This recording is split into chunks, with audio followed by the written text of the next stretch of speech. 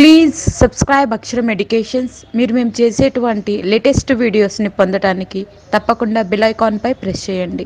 మరి భారత రాజ్యాంగానికి సంబంధించిన అంశాలలో భాగంగా మనం ముందుగా పీఠిక గురించి చెప్పుకొని తర్వాత రాజ్యాంగ లక్షణాలు రాజ్యాంగం యొక్క వ్యాఖ్యానాలు రాజ్యాంగంలో ముఖ్యమైన అంశాలు ఏంటిది అనేది చూద్దాం. ఇప్పుడు మనం చెప్పుకోవాల్సినది ఏమిటి అంటే పీఠిక. పీఠిక పీఠిక అంటే పీఠికనే. పీఠికను వివిధ రకాల పేర్లతో పిలుస్తాము. ఒకటి ప్రవేశిక రెండు భూమిక మూడు ప్రియాంబుల్ నాలుగు ప్రస్తావన ఐదు ముందు మాట మందు మాట ముందు మాట ముందు మాట నెక్స్ట్ నెక్స్ట్ తొలి పలుకు నెక్స్ట్ రాజ్యాంగ మూల తత్వ సారం రాజ్యాంగ మూలతత్వ సారం అని ఇలాంటి పేర్లతోటి మనం ప్రవేశికని పిలుస్తాము. చెప్పొచ్చేదేమి అనగా ఈ పీఠిక ఏం చెప్తుంది అంటే భారతదేశ రాజ్యాంగంలో ఏమేమి ఉన్నాయో వాటన్నింటినీ ఈ పీఠికలోనే పొందుపరచడం జరిగినది. మన సాధారణంగా ఏ పుస్తకాన్ని చూసినా ఆ పుస్తకంలో ఏ ఏ అంశాలు ఉండబోతున్నాయో మనకు ఆ పుస్తకం యొక్క ప్రారంభంలోనే ఇలాంటి పేర్లతో ప్రచురితమై ఉంటుంది ఆ పుస్తకంలో. అదే మాదిరిగా రాజ్యాంగానికి సంబంధించిన పీఠికలో కూడా రాజ్యాంగంలో ఏమి ఉండబోతున్నాయి వేటి గురించి ఎక్కువ మాట్లాడడం జరిగింది అసలు ఏ రకంగా ప్రారంభమవుతుంది ఏ రకంగా అంతమవుతుంది అనే విషయాలన్నీ కూడా పీఠికలో ఉన్నాయి. మరి ఓకే మరి రాజ్యాంగ పీఠికను ఏ దేశం నుంచి గ్రహించాము అంటే అమెరికా దేశం నుంచి తీసుకోవడం జరిగింది. పీఠిక యొక్క ఆరంభ ఏ రంభ? ప్రారంభ ఆరంభ ఏదో ఒక రంభ. ప్రారంభ రూపం ఏంటిది అంటే లక్ష్యాలు లక్ష్యాలు ఆశయాలు అని చెప్పి చెప్పవచ్చు. రాజ్యాంగ పీఠిక ప్రారంభ రూపం లక్ష్యాలు ఆశయాలు. మరి దీనిని భారత రాజ్యాంగ పరిషత్తులో నలభై ఆరు డిసెంబర్ నెల పదమూడవ తారీఖున జవహర్లాల్ నెహ్రూ గారు ప్రవేశపెట్టాడు. దీనిని పంతొమ్మిది వందల నలభై ఏడు జనవరి నెల ఇరవై రెండవ తారీఖున రాజ్యాంగ పరిషత్తు పీఠికను ఆమోదించింది. పీఠికను ఆమోదించింది. ఇక ఈ పీఠిక ఎప్పటి నుండి అమలులోకి వచ్చిందంటే సహజంగా పంతొమ్మిది వందల యాభై జనవరి ఇరవై ఆరవ తారీఖు నుంచి అమలులోకి వచ్చింది. మరి రాజ్యాంగ పీఠిక ప్రారంభ రూపం ఏమిటి? అంటే అమలులోకి వచ్చినప్పుడు రూపం ఏంటిది? అదే మాదిరిగా రాజ్యాంగ పీఠిక ప్రస్తుత రూపం ఐ మీన్ రెండు వేల పంతొమ్మిది మే నెల ఇరవై ఒకటో తారీఖు. ఈరోజు వరకు అంటే భారత రాజ్యాంగ ప్రస్తుత రూపం ఏమిటి అనేది చూస్తే ప్రారంభ రూపం ఏమిటి అనేది చూసేయండి. సాధారణంగా ప్రజాస్వామ్య గణతంత్ర సర్వసత్తాక సామ్యవాద ప్రజాస్వామ్య సర్వసత్తాక సామ్యవాద లౌకిక లౌకిక ప్రజాస్వామ్య గణతంత్ర. ఇది ప్రస్తుత రూపం. మరి ఇందులో సర్వసత్తాక ప్రజాస్వామ్య గణతంత్రం అనేది ప్రారంభ రూపం. ప్రస్తుత రూపం ఏమిటి అంటే సర్వసత్తాక సామ్యవాద లౌకిక ప్రజాస్వామ్య గణతంత్ర అనేది ప్రస్తుత రూపం అని చెప్పి చెప్పవచ్చు. మరి ఈ పదాలను గమనిస్తే ఫస్ట్ ఏమిటి అండి? సర్వసత్తాక సర్వ సత్తాక సర్వసత్తాక అనే పదానికి అర్థం ఏమిటి అంటే భారతదేశం అంతరంగిక వ్యవహారాలలో కానీ బహిరంగిక వ్యవహారాలలో కానీ ఏ దేశాన్ని తలదూర్చనీయదు. ఎందుకు తలదూర్చనీయదు అంటే తలదూర్చనీయదు అంతే. మరి ఏ రకంగా వ్యవహరిస్తుంది? స్వతంత్రంగా వ్యవహరిస్తుంది. ఏ దేశం యొక్క ప్రలోభాలకు గురి కాకుండా ఏ దేశం యొక్క ప్రభావాలకు ప్రభావితం కాకుండా స్వతంత్రంగా వ్యవహరించే విధానాన్నే సర్వసత్తాక అనే పేరుతో పిలుస్తున్నామండి. ఇక్కడ మనకు డౌట్ వస్తుంది. మరి భారతదేశం సర్వసత్తాక ఎలా అవుతుంది? ఐక్యరాజ్య సమితిలో సభ్యత్వం తీసుకుంది. ఐక్యరాజ్య సమితి ఆంక్షలు విధిస్తే భరిస్తుంది. ఐక్యరాజ్య సమితి సూచించిన మార్గంలో ముందుకు వెళ్తుంది. మరి ఇలాంటప్పుడు వేరే ఒక అంతర్జాతీయ సంస్థ యొక్క ప్రభావం భారతదేశం మీద ఉన్నది కదా అని మనకు డౌట్ వస్తుంది. మరి వేరే దేశం అంటే ఐ మీన్ అంతర్జాతీయ సంస్థ యొక్క ప్రభావం భారతదేశం మీద ఉంటే అది సర్వసత్తాక ఎలా అవుతుంది? అనే సందేహం మనలో రాకమానదు వాస్తవమే. భారతదేశం ఐక్యరాజ్య సమితిలో సభ్యత్వం పొంది ఉంది. కామన్వెల్త్ దేశాల కూటమిలో సభ్యత్వం పొంది ఉంది. అనేక అంతర్జాతీయ సంస్థలలో సభ్యత్వం పొంది ఉంది. అయితే ఏ అంతర్జాతీయ సంస్థలలో సభ్యత్వం పొంది ఉన్నా అది ఐచ్ఛికం మాత్రమే. అంటే ఐచ్ఛికం అంటే ఇష్టం ఉన్నంత వరకు ఉంటుంది. ఏమాత్రమైనా తన యొక్క విధానానికి ఇబ్బంది కలిగించిందనుకో ఆ సంస్థ నుంచి బయటకు వచ్చేస్తుంది. అంటే ఇప్పుడు భారతదేశం ఐక్యరాజ్య సమితిలో సభ్యత ఉన్నది ఐచ్ఛికమే. ఎప్పుడంటే అప్పుడు భారతదేశం అందులో నుంచి బయటికి రావచ్చు. బలవంతం అంటూ లేదు కాబట్టి ఇలాంటి సభ్యత్వాలు ఐచ్ఛికమైనవే. కాబట్టి ఆ రకంగా భారతదేశం తమ యొక్క అంతరంగిక వ్యవహారాలలో కానీ బహిరంగిక వ్యవహారాలలో కానీ ఏ దేశం యొక్క ప్రలోభాలకు ప్రభావాలకు గురి కాకుండా ఉండే విధానాన్నే సర్వసత్తాక అంటారు. ఇక రెండవ పదం ఏమిటి అంటే సామ్యవాద. సామ్యవాదం అంటే దేశంలోనే ప్రజలందరి యొక్క ఆస్తిపాస్తులు ఆదాయాలు అన్నీ కూడా సమానంగా ఉండాలి. సమానంగా సామ్యంగా సమా సామ్యవాదం సమానంగా ఉండాలి. ఈ కాన్సెప్ట్లో సామ్యవాదం అనే పదం తెర మీదకి వచ్చింది. సామ్యవాదం అనే పదం ప్రపంచంలో మొట్టమొదటిసారిగా పంతొమ్మిదవ శతాబ్దం మూడవ పాదంలో ఐ మీన్ మూడవ కాన్సెప్ట్లో మనం చూస్తుంటాం కండి సంవత్సరాన్ని నాలుగు భాగాలుగా విడదీస్తే మొదటి భాగం రెండవ భాగం అన్న కాన్సెప్ట్లో మూడవ పాదంలో ఐ మీన్ మూడవ భాగంలో పంతొమ్మిదవ శతాబ్దం మూడవ భాగంలో సామ్యవాదం అనే అంశం రష్యాలో మొదటిసారిగా తెర మీదకి వచ్చింది. అందుకనే రష్యా ప్రపంచాన్ని మొత్తం ఆర్థిక మాంద్యం కుదిపివేసిన రష్యాను మాత్రం ఏం చేయలేకపోయింది. కారణం ఏంటంటే రష్యా అనుసరించిన విధానం అనేది అంత మంచిది కాబట్టి ప్రపంచంలో అమెరికా బ్రిటన్ లాంటి దేశాలు కుప్ప కూలిపోయినా కూడా సార్ రష్యా దేశం మాత్రం ఏమాత్రం కూలిపోలేదు ఏమాత్రం దాని యొక్క ప్రభావం ఈ రష్యాపై పడలేదు. దానికి గల కారణం ఏమిటి అంటే రష్యా అనుసరించిన విధానం అని చెప్పి చెప్పవచ్చు. మరి రష్యా అనుసరించిన విధానమే సామ్యవాదం. సామ్యవాదానికి మూలం సామ్యవాదానికి బేసిక్ ఏంటిదంటే జాతీయవాదం జాతీయకరణ. జాతీయకరణ. మరి జాతీయకరణ అంటే ఏమిటి? అనేది మనం చూస్తే ప్రైవేటు వ్యక్తులు స్థాపించిన సంస్థలను ప్రైవేటు వ్యక్తులు స్థాపించిన అంశాలను ప్రభుత్వం తన ఆధీనంలోకి తీసుకొని నిర్వహించడాన్ని నియంత్రించడాన్నే మనం జాతీయకరణ అనే పేరుతో పిలుస్తున్నాము అంటే ఏదైనా ఒక ప్రైవేట్ వ్యక్తి ఒక విద్యాలయాన్ని పెట్టాడు. దాని ప్రభుత్వం ఏం చేస్తుంది? తన ఆధీనంలోకి తీసుకుంటుంది. అదే మాదిరి ఒక ఆయన ఎల్ఐసిని పెట్టాడు. పంతొమ్మిది వందల యాభై ఆరులో ప్రభుత్వం ఏం చేసింది? ఆ దానిని తన ఆధీనంలోకి తీసుకొని ప్రభుత్వ సంస్థగా మార్చి దాన్ని నిర్వహించడం నియంత్రించడం దానికి సంబంధించిన అంశాలను మొత్తం ప్రభుత్వమే తీసుకుంటుంది చూసుకుంటుంది.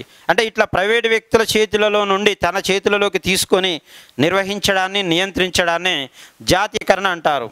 ఎగ్జాంపుల్ భారతదేశంలో మొట్టమొదటిసారిగా పంతొమ్మిది వందల యాభై ఏడులో జీవిత బీమా సంస్థలను జాత్యం చేయడం జరిగింది.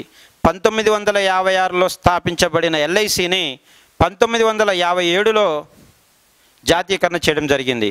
ఇలా చెప్పుకుంటూ వెళ్తే పంతొమ్మిది వందల అరవై తొమ్మిది జూలై నెల పంతొమ్మిదవ తారీఖున పద్నాలుగు బ్యాంకులను పంతొమ్మిది వందల డెబ్బైవ సంవత్సరంలో రాజాభరణాల రద్దు పంతొమ్మిది వందల డెబ్బై ఐదవ సంవత్సరంలో ఇరవై సూత్రాల పథకం పంతొమ్మిది వందల ఎనభైవ సంవత్సరంలో ఆరు బ్యాంకుల జాతీయకరణ ఇలా అనేక రకాల అంశాలన్నీ కూడా జాతీయకరణ అనే భావనతో అనే భావంతో ముడిపడి ఉన్నాయి అని చెప్పి చెప్పవచ్చు. మరి భారతదేశంలో అత్యధికంగా జాతీకరణను జరిపిన ప్రధానమంత్రి ఎవరు అంటే ఇందిరా గాంధీ కాదు కాదు ఇందిరాగాంధీ గారు. ఎవరండి? ఇందిరాగాంధీ గారు అని చెప్పి చెప్పవచ్చండి. మరి భారతదేశంలో జాతీకరణను ప్రారంభించిన ప్రధానమంత్రి ఎవరు అంటే జవహర్లాల్ నెహ్రూ గారు అని చెప్పి చెప్పవచ్చు. అత్యధికంగా జాతీకరణ చేసినదేమో ఇందిరాగాంధీ గారు అని చెప్పి చెప్పవచ్చు. ఈ రకంగా సామ్యవాదం అనే అంశానికి సంబంధించింది. మరి ఇంకొకటి ఏమండి? లౌకిక తత్వం. మూడవది లౌకిక లౌకిక లౌకిక తత్వం. దీన్నే లౌకిక తత్వాన్ని మరొక పేరుతో పిలుస్తాము. అది ఏమిటి అంటే ధర్మ నిరపేక్షత. ఇంకొక పేరుతో కూడా పిలుస్తారు. ఏమంటారు అంటే ప్రాపంచిక ప్రాపంచిక దృక్పథం దృక్పథం అనే పేరుతో కూడా పిలుస్తారు. లౌకిక ధర్మ నిరపేక్షత ప్రాపంచిక దృక్పథం అనే పేర్లతో పిలుస్తారు. మరి లౌకిక అంటే ఏంది? మత ప్రమోయం లేని రాజ్యాన్నే లౌకిక అనే పేరుతో పిలుస్తారు. దేశం ఏ మతం పట్ల అభిమానం ప్రదర్శించదు ఏ మతం పట్ల దురభిమానాన్ని ప్రదర్శించదు. అన్ని మతాలను ఒకే రకంగా చూస్తుంది. అన్ని మతాల విషయంలో తటస్థతను వై తటస్థ వైఖరిని అవలంబిస్తుంది. అంటే మత ప్రమేయం లేని రాజ్యాన్ని లౌకిక రాజ్యం అంటారు. మత ప్రమేయం లేని విధానాన్ని లౌకిక అనే పేరుతో పిలుస్తారు. మరి లౌకిక అనే పదం భారత రాజ్యాంగం అమలులోకి వచ్చినప్పుడు లేదు. తర్వాత చేర్చారు. మనం ఇక్కడ రాసుకున్నాము. రాజ్యాంగం అమలులోకి వచ్చినప్పుడు సర్వసత్తాక ప్రజాస్వామ్య గణతంత్ర అనే మూడు పదాలు ఉన్నాయి. తర్వాత కాలక్రమంలో ఈ పదాలు వచ్చాయి. అంటే ఎక్స్ట్రా రెండు పదాలు వచ్చాయి. సామ్యవాద లౌకిక అనే పదాలు వచ్చాయి. ప్రస్తుతం పీఠికలో ఎన్ని పదాలు ఉన్నాయి అంటే ఐదు పదాలు ఉన్నాయి. మరి ఇప్పుడు మనం లౌకిక అనే కాన్సెప్ట్ చూస్తే లౌకిక తత్వం మరియు సామ్యవాదం అనే పదాలను రెండింటిని పంతొమ్మిది వందల డెబ్బై ఆరులో జరిగిన నలభై రెండవ రాజ్యాంగ సవరణ ద్వారా మన రాజ్యాంగంలో చేర్చారు. వేటి వేటినండి? సామ్యవాదాన్ని లౌకిక తత్వాన్ని డెబ్బై ఆరులో జరిగిన నలభై రెండవ రాజ్యాంగ సవరణలో చేర్చారు. మరి ప్రారంభంలో ఎందుకు చేర్చాలి ఈ పదాలని అంటే అవసరం పడలేదు. మనం అంటుంటాం చూశారండి మోటు భాషలో తడిస్తే కానీ గుడిసెగప్పకు అన్నట్లుగా తన దాకా వస్తే కానీ తెలియదు అన్నట్లుగా అన్నట్టుగా ఆ రకంగా మనం చూస్తే మరి పీఠిక అమలులో వచ్చినప్పుడు చేర్చలేరు తర్వాత చేర్చారు. దీనికి గల కారణం ఏంటంటే మనం గమనిస్తే భారతదేశానికి స్వాతంత్రం వచ్చిన సమయంలో భారతదేశంలో ఉన్న ప్రతివారు భారతీయులని గాంధీ అన్నాడు. పాకిస్తాన్లో ఉన్న ముస్లిమేతరులందరూ కూడా పాకిస్తాన్ వదిలి వెళ్ళాలి అని మహమ్మద్ అలీ జిన్నా అన్నాడు. మహమ్మద్ అలీ జిన్నా ద్విజాతి సిద్ధాంతాన్ని ప్రతిపాదించి ఈ ద్విజాతి అంటే ఐ మీన్ ముస్లింలు ముస్లింలే హిందువులు హిందువులే అనే ఈ రెండు రకాల సిద్ధాంతం అన్నట్టు. ఈ ద్విజాతి సిద్ధాంతాన్ని ప్రతిపాదించిన వ్యక్తి మహమ్మద్ అలీ జిన్నా. నేను చెప్పాడు అంటే దేశ విభజన జరుగుతున్న సమయంలో దేశానికి స్వాతంత్రం వస్తుంది అన్న సమయంలో బా పాకిస్తాన్లో ఉన్న ఈ ముస్లిమేతరులందరూ కూడా భారత్ పోవాలని చెప్పారు. ఇక అదే సమయంలో గాంధీ గారు ఏమన్నారు అంటే వాళ్ళు అన్నంత మాత్రాన్ని మనం అనవద్దు. భారతదేశం అంతా కూడా అన్ని మతాల సాంప్రదాయాల కలయిక కాబట్టి మన దగ్గర ఉన్న వాళ్ళు మనం అలా అనకూడదు. అది మన సంస్కృతి కాదు అని గాంధీ గారు అంటారు. సరే అలా ఉన్న అలా ఉన్న తర్వాత ఇక ఈ సమయంలోకి కొద్ది ముందే అంటే పంతొమ్మిది వందల నలభై ఆరు ఆగస్టు పదహారవ తారీఖున ముస్లిం లీగు పాకిస్తాన్ అనేది ప్రత్యేకంగా ఏర్పాటు చేయాలి అనేది గట్టి భావనతో ఉంది. భారతీయులం కలిసి ఉందామంటారు. పాకిస్తాన్ వాళ్ళం విడిపోదామంటారు. అంటే పాకిస్తాన్ ఏర్పాటు చేయాలంటారు. ఈ కాన్సెప్ట్లో భాగంగా ముస్లిం లీగు పంతొమ్మిది వందల నలభై ఆరు ఆగస్టు పదహారవ తారీఖున ప్రత్యక్ష కార్యాచరణ దినానికి పిలుపునిస్తుంది. ప్రత్యక్ష కార్యాచరణ దినానికి పిలుపునిస్తే అందులో భాగంగా బెంగాలు బీహారు అస్సాం ఒరిస్సా ఇక ఆముడిగా ఐ మీన్ బెంగాల్ పరిసర ప్రాంతాలలో ఉన్న ఒక లక్ష ముప్పై వేల మంది ప్రజల ధన మాన ప్రాణాలను వ్యతిరేక వర్గం వారు దోచుకోవడం జరుగుతుంది. స్త్రీలను చర్చడం పురుషులను చంపేయడం అట్లా వస్త వ్యస్తంగా చేయడం జరిగింది. అంటే రక్తపాతంతో దేశ విభజన జరగాలి మీరు ఒప్పుకోవట్లేరు కాబట్టి ఖచ్చితంగా విడిపోవాలన్న ఉద్దేశంతో ఒక వర్గం వాళ్ళు వేరే వర్గం వారిని చంపేయడంతో చంపేశారు. చంపేసిన కొన్ని రోజులకే ఈ లక్ష ముప్పై వేల ఎవరైతే ఇబ్బందులకు గురయ్యారో ఆ వర్గం వారు ఏం చేశారంటే ప్రత్యర్థి వర్గంపై దాడి చేసి ముప్పై వేల మందిని యాస్టీస్గా చంపడం వివిధ రకాల ఇబ్బందులకు గురి చేయడం అనేది జరిగింది. ఇక ఇట రెండు సంఘటనలను కూడా ఎవరైనా ఖండించవలసిందే. ఎవరు ఎవరిని ఏ మతం ఏ మతంపై దాడి చేసినా ఏదేదైనా కూడా రెండు కూడా తప్పే ఎవరైనా కావచ్చు. సో మరి రెండు విషయాలు జరిగాయి. మరి ఈ విషయంలో గాంధీ గారు తప్పుడు విధంగా స్పందించడం జరిగింది. అంటే ఒక వర్గం వారు మరొక వర్గం వారిపై దాడి చేసి లక్ష ముప్పై వేల మందిని చంపినప్పుడేమో చప్పుడు చేయలేదు.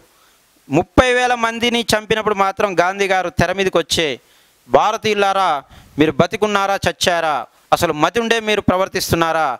అలా చంపడం ఎంత దారుణమైన హేయమైన చర్య అని చెప్పేసి బహిరంగంగా గాంధీ గారు విమర్శించారు. విమర్శిస్తే ఆ సమయంలో ప్రత్యర్థి వర్గానికి అంటే వేరే వర్గానికి ఏమనిపించిందంటే అసలు ఏ పక్షం? పక్షమా? ఆ పక్షమా? విభేదిస్తే విమర్శిస్తే రెండు వర్గాలను విమర్శించు. లేదు అంటే అప్పుడు సప్పుడు చేయలేదు ఇప్పుడు సప్పుడు చేయకు. అంతేగాని నీవు ఒకప్పుడు సప్పుడు చేసి చేయకుంటుండే ఇప్పుడు విమర్శిస్తుంది. ఎంతవరకు సమంజసం? నీ వర్ నీ కాన్సెప్ట్ ఎటువైపు? అంటే నీ యొక్క గమనం ఎటువైపు? నీ యొక్క వైఖరి ఎటువైపు అనేది మాకు అర్థమవుతుంది అని భావించారు మరొక వర్గం వారు. ఇక ఆర్ఎస్ఎస్ అనేది ఒకటి ఉంటుందండి సంస్థ. రాష్ట్రీయ స్వయం సేవక్ సంఘ్. దీనిని పంతొమ్మిది వందల ఇరవై ఏడు కొన్ని పుస్తకాలలో ఇరవై ఆరు అని కూడా రాసి ఉందండి. పంతొమ్మిది వందల ఇరవై ఆరు లేదా ఇరవై ఏడు సంవత్సరంలో హెగ్డే వార్ హెగ్డే వార్ అనే ఒక వ్యక్తి ఆర్ఎస్ఎస్ను స్థాపించాడు. ఇక ఈ ఆర్ఎస్ఎస్లో సభ్యుడే నాదురామ్ గాడ్సే నారాయణ ఆమ్టే సత్యేంద్ర నరసింహ ఇగ్గురు కూడా. అయితే వీళ్ళు ఈ విషయాలన్నింటిని గమనిస్తున్నారు. గాంధీ గారు ఎటువైపు అనేది అర్థమైపోయింది. సో లక్ష ముప్పై వేల మంది ప్రజల ఆత్మశాంతి జరగాలంటే వాళ్ళ ఆత్మ ఘోషించకుండా ఉండాలంటే ప్రత్యర్థి వర్గాన్ని చంపవలసిందే. సరే అది పక్క పెడితే ఈ వర్గాన్ని వ్యతిరేకించిన వ్యక్తిని ఖచ్చితంగా చంపి తీరాల్సిందే. అప్పుడే ఎవరైతే ఈ విషయంలో వ్యతిరేకించాడో ఆ వ్యక్తిని చంపితే లక్ష ముప్పై వేల మంది ప్రజలు ప్రశాంతంగా ఐ మీన్ వాళ్ళ యొక్క ఆత్మ శాంతిస్తుంది అనే ఉద్దేశంతో అని గట్టిగా నమ్మిన ఈ వ్యక్తులు పంతొమ్మిది వందల నలభై ఎనిమిది జనవరి నెల ముప్పైవ తారీఖున ఢిల్లీలోని లక్ష్మీ నరసింహస్వామి దేవాలయం అదే బిర్లా టెంపుల్. లక్ష్మీ నరసింహ దే స్వామి దేవాలయంలో పూజలు జరుపుకొని బయటికి వస్తున్న గాంధీ గారిని మూడు పాయింట్లు ఏమంటంటే మూడు సందర్భాలలో మూడు ప్రదేశాలలో అతనికి స్పాట్ పెట్టడం జరుగుతుంది. మొదటి స్పాట్లో నాదురామ్ గాడ్సే రెండవ స్పాట్లో నారాయణ ఆమ్టే మూడవ సా మూడవ స్పాట్లో సత్యేంద్రనాథ్ సిన్హా ఈ ముగ్గురు ఉంటారు గాంధీ గారు ఒక అబ్బా మను అనే ఇద్దరు సహాయకురాల సహాయంతో టెంపుల్ నుంచి బయటికి వస్తున్న సమయంలో మొదటి స్పాట్లో లేదా మొదటి పాయింట్లో ఉన్న నాజురామ్ గాడ్సే తన దగ్గర ఉన్న రైఫిల్ తీసుకొని దగ్గరికి వెళ్ళి వందే మాతరం అనగానే గాంధీ గారు ఆ పదం విని స్పందించి వందే మాతరం అనడ అన్నాడు. అనడంతో నాదురాం గాడ్సే వరుసగా ఐదు రౌండ్ల కాల్పులు జరిపాడు గాంధీ పైన. దాంతో గాంధీ హే రామ్ హే రామ్ అనుకుంటూ కుప్పగూలిపోయాడు ఇక ఎమ్మటే అక్కడనే గాంధీ గారు మరణించడం జరిగింది. ఇక ఒకవేళ ఇక్కడ మిస్ అయితే ఇక్కడ ఇక్కడ కూడా మిస్ అయితే ఇక్కడ వేయడానికి ఐ మీన్ చంపేయడానికి వీళ్ళు మూడు స్పాట్లు పెట్టారు. ఇక మొదటి స్పాట్లోనే గాంధీ గారు చనిపోవడం జరిగింది. ఇక దీంతో ఈ ముగ్గురు వ్యక్తులు కలిసి పూణేకి పారిపోవడం అక్కడ దొరకడం తర్వాత వీరిని ఉరిశిక్ష తీయడం ఇలాంటివన్నీ జరిగాయి. ఇక నాదురాం నాథురాం గాడ్సే గారు జైల్లో ఉండి తన ఆత్మకథలో ఈ విషయాలన్నింటిని కూడా క్రోడీకరించాడు. మేము గాంధీని చంపినప్పుడు పాయింట్ పాయింట్ పాయింట్ ఫైవ్ వంతు కూడా బాధపడలే. ఎందుకు అంటే లక్ష ముప్పై వేల ధన ప్రాణ మానాలను దోసుకున్న వారిని చంపినం. చంపిన ఆ చంపడానికి కారకుడైన గాంధీ గారిని చంపినాం కాబట్టి మా ఆత్మ సంతృప్తిగా ఉంది హ్యాపీగా ఉంది అని చెప్పి తన ఆత్మకథలో గాంధీ గారు రాసుకోవడం జరిగింది. మరి ఈ రకంగా మన దేశ నాయకుని కోల్పోయాము. ఎప్పుడు కోల్పోయాము? నలభై ఎనిమిదిలో కోల్పోయాము. మరి నలభై ఎనిమిది అంటే ఇంచుమించు రాజ్యాంగం కంప్లీట్ కావచ్చింది అప్పటికే. కాబట్టి మళ్ళీ మతం అనే కాన్సెప్ట్లో మన ప్రముఖ నాయకులను కోల్పోవలసిన అవసరం రాకూడదు అన్న ఉద్దేశంతో డెబ్బై ఆరవ సంవత్సరంలో మరీ ప్రత్యేకంగా రాజ్యాంగ సవరణ జరిపి అందులో భాగంగానే సామ్యవాదం అనే పదాన్ని లౌకిక అనే పదాలను మన రాజ్యాంగంలో రాజ్యాంగంలోని ప్రవేశికలో చేర్చారు అని చెప్పి చెప్పవచ్చు. ఇక నాలుగవ పదం ఏమిటి అంటే ప్రజాస్వామ్యం. ప్రజా ప్రజా ప్రజా స్వామ్యం స్వామ్యం అని చెప్పి చెప్పవచ్చు. ఇక అధికారం ఒక్కరి చేతిలో ఉంటే దాన్ని రాచరికం అంటారు. అధికారం కొద్ది మంది చేతిలో ఉంటే దానిని స్వల్పజనిన పాలన లేదా బహుజన పాలన లేదా జమీందారి పాలన లేదా భూస్వామ్య పాలన అనే పేరుతో పిలుస్తాము. అదే అధికారం అందరి చేతిలో ఉంటే దానినే ప్రజాస్వామ్యం అంటారు. మళ్ళీ ప్రజాస్వామ్యం ఎన్ని రకాలు అంటే రెండు రకాలు. ఒకటి మొదటి రకం రెండు రెండవ రకం అని చెప్పి చెప్పవచ్చు. ఆ రకంగా ప్రజాస్వామ్యం ఎన్ని రకాలంటే రెండు రకాలు. ఒకటి ప్రత్యక్ష ప్రజాస్వామ్యం రెండు పరోక్ష ప్రజాస్వామ్యం. ప్రత్యక్ష ప్రజాస్వామ్యం అంటే ఈ ప్రత్యక్ష ప్రజాస్వామ్యంలో పౌరుడు ద్విపాత్రాభినయం చేస్తాడు. రెండు పాత్రలు నిర్వహిస్తాడు.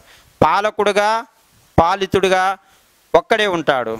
మరి ఇలాంటి ప్రత్యక్ష ప్రజాస్వామ్యం ప్రస్తుతం అమలులో ఉంటుందా అంటే ఉండదు. ఉండడానికి అవకాశం లేదు. మరి ఎలాంటప్పుడు ప్రత్యక్ష ప్రజాస్వామ్యం అమలులో ఉంటుంది? అంటే తక్కువ జనాభా తక్కువ భూభాగం ఎక్కువ అభివృద్ధి ఎక్కువ అక్షరాస్యత. ఈ నాలుగు లక్షణాలు ఉండే ప్రదేశాలలో మాత్రమే ప్రత్యక్ష ప్రజాస్వామ్యం ఉంటుంది. ఇక సాధారణ ప్రదేశాలలో ప్రత్యక్ష ప్రజాస్వామ్యం అమలులో లేదు. ఇప్పుడు మనం ఒక లక్ష డెబ్బై వేల మంది సగటున జనాభాకు ఒక ఎమ్మెల్యే నియోజకవర్గం ఏడున్నర లక్షల మంది జనాభాకు అంటే ఏడున్నర లక్షల సగటు జనాభాకు ఒక ఎంపీ నియోజకవర్గం ఉంది. అంటే ఒక ఎంపీ నియోజకవర్గంలో ఏడున్నర లక్షలు ఒక ఎమ్మెల్యే నియోజకవర్గంలో ఒక పాయింట్ ఏడు. అదే లక్ష డెబ్బై వేల మంది ప్రజలు ఉంటుర్రు అని అనుకుంటున్నాం. అంటే మరి ఇప్పుడు ఒక ఎమ్మెల్యే ఈక్వల్ టు లక్ష డెబ్బై వేలు. అంటే అంతమందికి ఒకడే ప్రాతినిధ్యం వహిస్తుండు. మరి ఏది ఇప్పుడు పరోక్ష ప్రజాస్వామ్యం కాబట్టి అదే ప్రత్యక్ష ప్రజాస్వామ్యంలో అయితే ఈ లక్ష డెబ్బై వేల మంది వచ్చి అసెంబ్లీలో కూర్చుంటారు. అంటే మరి ఇంత ఎన్ని ఎంతమంది ఎమ్మెల్యేలు ఉంటే అన్ని లక్ష డెబ్బై వేలే. వాళ్ళు వచ్చి పా అసెంబ్లీలో కూర్చోవాలి వాళ్ళు మాట్లాడాలి. ఇంతమందితో జరిగే పైన కాదు. కాబట్టి ఏం చేస్తారండి? కొంతమంది వ్యక్తులు కలిసి ఒక ప్రతినిధిని ఎన్నుకుంటే ఆ ప్రతినిధులు పోయి ఒక దగ్గర సమావేశమై ప్రజలకు కావలసిన విషయాలను చూస్తున్నారు. సో ఈ రకమైన సువిధానాన్ని మనం పరోక్ష ప్రజాస్వామ్యం అంటున్నాం. మరి ప్రత్యక్ష ప్రజాస్వామ్యంలో ఏంటంటే పాలకులు పాలితులు ఒక్కలే ఉంటారు. మరి ఇలాంటి విధానం పురాతన కాలంలో గ్రీకు దేశంలోనే స్పార్టా స్పార్టా ఏథెన్స్లలో ఉన్నది. మరి ప్రస్తుతానికి భారతదేశంలో ఈ రకమైన ప్రజాస్వామ్యం ఎక్కడ ఉంది అంటే గ్రామ సభలో ఉన్నది అని చెప్పి చెప్పవచ్చు. గ్రామసభలో ఉంది. మరి ప్రపంచంలో ప్రత్యక్ష ప్రజాస్వామ్యం ఇంకా ఎక్కడనైనా ఉందా? అంటే ఉంది. స్విట్జర్లాండ్ దేశంలోనే ల్యాండ్ ల్యాండ్ గెమాండ్ గెమాండ్ అనే సంస్థలో ప్రత్యక్ష ప్రజాస్వామ్యం ఉంది అని చెప్పి చెప్పవచ్చండి. ఊ దగ్గర ఊనే వలకాలి మనం పా అస్సలు వలకకూడదు. ఉంది ఉంది. ఓకే అండి. మరి పరోక్ష ప్రజాస్వామ్యం అంటే ఇప్పుడే చెప్పుకున్నాం. కొంతమంది వ్యక్తులు కలిపి ఒక వ్యక్తిని ఎన్నుకుంటే ఆ వ్యక్తి వాళ్ళని పరిపాలిస్తాడు. ఆ రకమైన ప్రజాస్వామ్యాన్ని పరోక్ష ప్రజాస్వామ్యం అంటున్నాం. మరి పరోక్ష ప్రజాస్వామ్యం మళ్ళీ తిరిగి ఎన్ని రకాలు అంటే రెండు రకాలండి. ఒకటి అధ్యక్ష తరహా ప్రజాస్వామ్యం రెండు పార్లమెంటరీ తరహా ప్రజాస్వామ్యం. మరి అధ్యక్ష తరహా ప్రజాస్వామ్యం అంటే అధ్యక్షుడు ప్రజల చేత ప్రత్యక్షంగా ఎన్నికవుతాడు. అమెరికా దేశం ఎగ్జాంపుల్. అమెరికా దేశ అధ్యక్షుడు అధ్యక్షుడు మనం ప్రెసిడెంట్ అని కూడా అనొచ్చు అధ్యక్షుడిని మరి అమెరికా దేశ అధ్యక్షుని ప్రజలు ఎన్నుకుంటారు? ఎట్లా ఎన్నుకుంటారు? ప్రత్యక్షంగా ఎన్నుకుంటారు. మరి భారతదేశ అధ్యక్షుడు రాష్ట్రపతి అదే ప్రెసిడెంట్. మరి మన భారతదేశ అధ్యక్షుని ఎవరు ఎన్నుకుంటారు? ప్రజలు ఎన్నుకుంటారు. ఎట్లా ఎన్నుకుంటారు? పరోక్షంగా ఎన్నుకుంటారు. అంటే రాష్ట్రపతి ఎన్నికలలో పౌరుడు ఓటేస్తాడా? వేయడు. మరి ఎవరు ఓటేస్తారు అంటే పౌరుడు ఎమ్మెల్యేలను ఎంపీలను ఎన్నుకుంటే వాళ్ళు కలిపి వాళ్ళందరూ కలిసి రాష్ట్రపతిని ఎన్నుకుంటారు? ఆ రకమైన విధానాన్ని మనం ఏమంటున్నామండి? అంటే అధ్యక్షుడిని ప్రజలు పరోక్షంగా ఎన్నుకునే విధానాన్ని పరోక్ష ప్రజాస్వామ్యం అనే పేరుతో పిలుస్తున్నాం ఇట్లా అధ్యక్షుడు ప్రత్యక్షంగా పరోక్షంగా ఎన్నుకుంటే దాని ప్రత్యక్ష సారీ అధ్యక్ష తరహా ప్రజాస్వామ్యం అనే పేరుతోటి పిలుస్తున్నామండి. మరి పార్లమెంటరీ తరహా ప్రజాస్వామ్యం అంటే ఏంటంటే పార్లమెంటే పరిపాలించడంలో ప్రధాన పాత్ర వహిస్తుంది. పార్లమెంటు పరిపాలనలో ప్రధాన పాత్ర వహిస్తుంది. ఇందులో భాగంగా మంత్రిమండలి ఉంటుంది. ఈ మంత్రిమండలికి నాయకుడిగా ప్రధానమంత్రి గారు ఉంటారు. ప్రధానమంత్రి గారు చెప్పిన విధంగానే లేదా ప్రధానమంత్రి గారి యొక్క కనుసన్నలలోనే ఇది నడుస్తుంది. ఈ రకంగా మనకు ప్రజాస్వామ్యం అనేది ఉన్నది అని చెప్పి చెప్పవచ్చండి. ఇది ప్రజాస్వామ్యం. మరి ఐదవ పదం ఏమిటి అనేది మనం చూస్తే సాధారణంగా ఐదవది ఏమిటి అంటే గణతంత్ర. గణతంత్ర అనే పదాన్ని ఇంగ్లీష్లో రిపబ్లిక్ అంటారు. మరి గణతంత్ర అంటే ఏమిటి? అంటే దేశ అధ్యక్షుడు ప్రజల నుంచి ప్రత్యక్షంగానో పరోక్షంగానో ఎన్నుకునే విధానాన్నే మనం గణతంత్ర విధానం అంటారు. ఇప్పుడు భారతదేశ అధ్యక్షుడు ఐ మీన్ రాష్ట్రపతి గారు ఉన్నారు. అదే రామ్నాథ్ గోవింద్ కోవిద్ గారు. మన షార్ట్కట్లో రామ్నాథ్ కోవిద్ అనే పేరుతో పిలుస్తున్నాము. సరే రామ్నాథ్ గోవింద్ కోవిద్ను ప్రజలు పరోక్షంగా ఎన్నుకున్నారు. మరి అదే మాదిరిగా అమెరికా ప్రస్తుత అధ్యక్షుడు ఎవరో? మనందరూ తెలుసు. డొనాల్డ్ ట్రంప్ గారు. డొనాల్డ్ ట్రంప్ని కూడా ప్రజలు ఎట్లా ఎన్నుకున్నారు? పరో ప్రత్యక్షంగా ఎన్నుకున్నారు. ట్రంప్ను. మనం పరోక్షంగా ఎన్నుకున్నాం మన అధ్యక్షుడిని ఇట్లా ప్రత్యక్షంగా కానీ పరోక్షంగా కానీ ఎన్నుకునే విధానాన్ని మనం ఏమనవచ్చు అండి గణతంత్రం అనవచ్చు. మరి గణతంత్ర విధానానికి అమెరికాని ఎగ్జాంపుల్ చెప్పొచ్చు భారతదేశాన్ని ఎగ్జాంపుల్ చెప్పొచ్చు. సో ఫైనల్గా చెప్పొచ్చేది ఏమంటే దేశ అధ్యక్షుడు వారసత్వంగా కాకుండా ప్రజల నుంచి ప్రత్యక్షంగానో పరోక్షంగానో ఎన్నికయ్యే విధానమునే గణతంత్ర విధానం అనే పేరుతో పిలుస్తున్నామండి. మరి ఈ రకంగా రాజ్యాంగ ప్రవేశక రూపం ఉందండి. ఈ వరుస క్రమం కూడా ఇంపార్టెంట్ అండి. సర్వసత్తాక సామ్యవాద లౌకిక ప్రజాస్వామ్య గణతంత్రం అనే విధానం అనే వరుస క్రమం అనేది చాలా ఇంపార్టెంట్ అండి. ఇక మరి భారత రాజ్యాంగ పీఠికను రాసుకున్నది ఎవరు? ఆమోదించింది ఎవరు? పీఠికకు మూలం ఎవరు? వీటన్నిటికి సమాధానం ఒకే ఒకటి. అదే ప్రజలు అని చెప్పి చెప్పవచ్చండి. రాజ్యాంగ పీఠికకు మూలం ప్రజలు రాజ్యాంగాన్ని రాసుకున్నది ప్రజలు రాజ్యాంగాన్ని శాసనీకరించింది ప్రజలు రాజ్యాంగాన్ని ఆమోదించుకున్నది ప్రజలు. ఇలా మనం ప్రజలు ప్రజలు అనే కాన్సెప్ట్లో చెప్పొచ్చండి. భారతదేశ రాజ్యాంగం భారతదేశ రాజ్యాంగం ఏ పదాలతో మొదలవుతుంది అంటే భారతదేశ ప్రజలమైన మేము లౌ భారతదేశ ప్రజలమైన మేము సర్వసత్తాక సామ్యవాద లౌకిక ప్రజాస్వామ్య గణతంత్ర స్వేచ్ఛ స్వాతంత్ర న్యాయ సౌభ్రతత్వాలతో ముందుకెళ్ళి మా దేశ రాజ్యాంగాన్ని మాకు మేమే సమర్పించుకుంటున్నాం అనే పదాలతో ముగుస్తుంది అని చెప్పి చెప్పవచ్చండి. ఇక ఇది మనకు పీఠికకు సంబంధించిన విషయాలు. మరి అంత బాగానే ఉందండి. మరి భారతదేశ రాజ్యాంగాన్ని కొంతమంది వ్యక్తులు కూరగాయల గంప అంటారు. కొంతమంది వ్యక్తులు అతుకుల బొంత అంటారు. కొంతమంది వ్యక్తులు ఇంకేదేదో రకంగా వ్యాఖ్యానిస్తారు. కారణం ఏంది? సరే ఏ రకంగా వ్యాఖ్యానిస్తారనేది మనం చూద్దాం. మరి రాజ్యాంగాన్ని అతుకుల బొంత కూరగాయల గంప అని ఎందుకు పిలుస్తామంటే భారతదేశ రాజ్యాంగంలో ఉన్న విషయాలన్నింటినీ అనేక దేశాల నుంచి గ్రహించామండి. అరవై దేశాలకు పైగా దేశాల నుంచి భారతదేశ రాజ్యాంగంలో ఉన్న విషయాలను మనం గ్రహించాము.